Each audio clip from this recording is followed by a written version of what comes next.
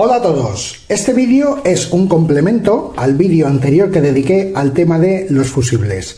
Quiero dedicar un tercer vídeo al tema de los fusibles, pero nada, en este más que nada un par de comentarios sobre los fusibles cuando se funden.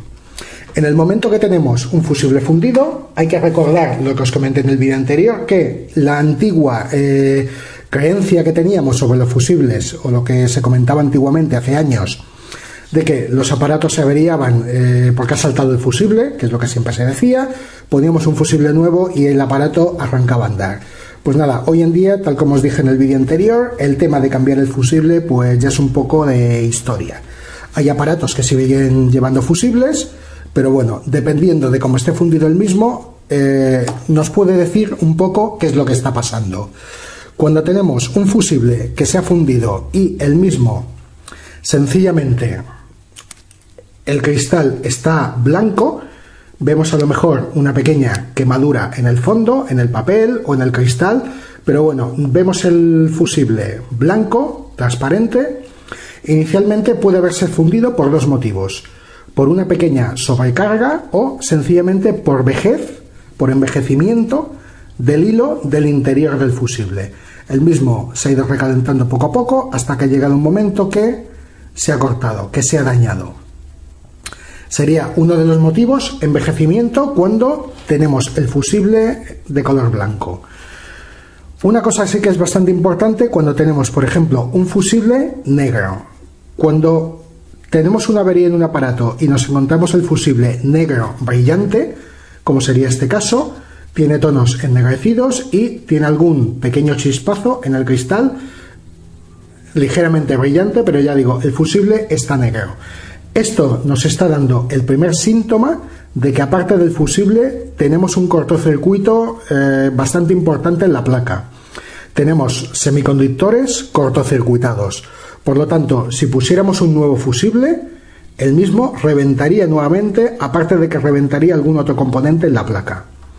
En el caso anterior, que el fusible se haya podido fundir por una pequeña sobrecarga o eh, por envejecimiento, si colocamos un fusible nuevo, lo normal sería que no se fundiera. O si se funde el mismo, ya observaremos a ver si eh, pega un destello excesivamente grande, si se funde poco a poco, ya nos ayudará a determinar cuál puede ser el fallo. Importante, lo comentado, fusibles transparentes, envejecimiento o pequeña sobrecarga, fusibles brillantes, un cortocircuito. Y cuando tengamos otro fusible que, por ejemplo, el hilo interno esté oscurecido, no esté brillante, este fusible nos está dando síntomas de que está sufriendo una sobrecarga de, intensidad bastante importante. El mismo no está llegando a fundirse, pero está trabajando al límite de sus posibilidades.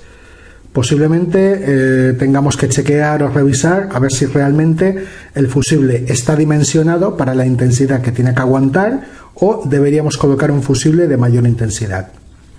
El tema de colocar fusibles de mayor intensidad lo vuelvo a repetir. Cuando tengamos, por ejemplo, un problema con un fusible de 8 amperios, por ejemplo, podemos poner, si tenemos dudas, uno un poquito mayor, de 10 amperios o de 8 y medio. Eh, no podemos hacer la burrada de colocar un fusible, por ejemplo, de 15 amperios, porque si tenemos un problema en la placa, el pepinazo que va a pegar el fusible y la placa va a ser importante sobre fusibles de pequeña capacidad, por ejemplo, estos son de 0,16, para alimentaciones de entrada de transformadores, por ejemplo, de, pequeñas placas. Los mismos, en caso de que se estén fundiendo, podemos colocar, por ejemplo, un fusible de, de 316, 0,31. O sea, de 300 miliamperios en lugar de 160, como sería este caso. Colocar un fusible para un, uno tan pequeño como este, colocar uno de 0,5, por ejemplo, sería un poco sobredimensionar el tema, pero bueno, hasta ahí podríamos llegar. Eh, no sería recomendable en absoluto colocar fusibles de un amperio para amperajes muy pequeños. Porque, lo dicho, el pepinazo que puede dar el sobrecalentamiento puede ser importante. Pues nada, hasta aquí un poco el vídeo aclaratorio sobre el tema de los fusibles, distinguir cuando un fusible está negro y cuando está fundido pero está blanco, de qué puede ser el motivo. Y nada, espero que os sirva de ayuda, un saludo y que sigáis visitando los vídeos. Para tu